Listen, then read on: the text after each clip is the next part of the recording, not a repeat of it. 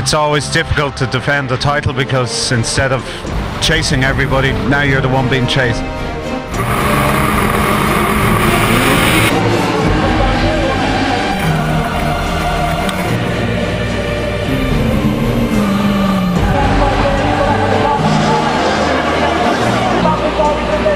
Uh, we drive a Ford Fiesta Mark 7 rear wheel drive and it's built by Gunnison Motorsport and Julian Godfrey looks after the engine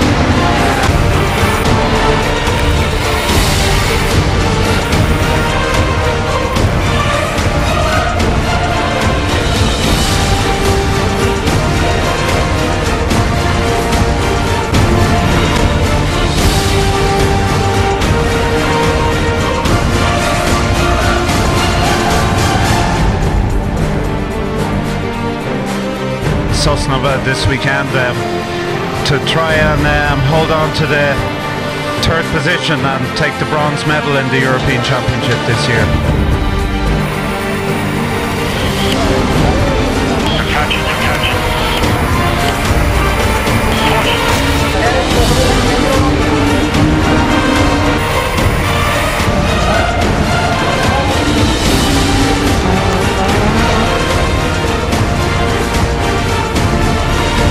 Came out top in the end and we're very happy um, to take the bronze medal.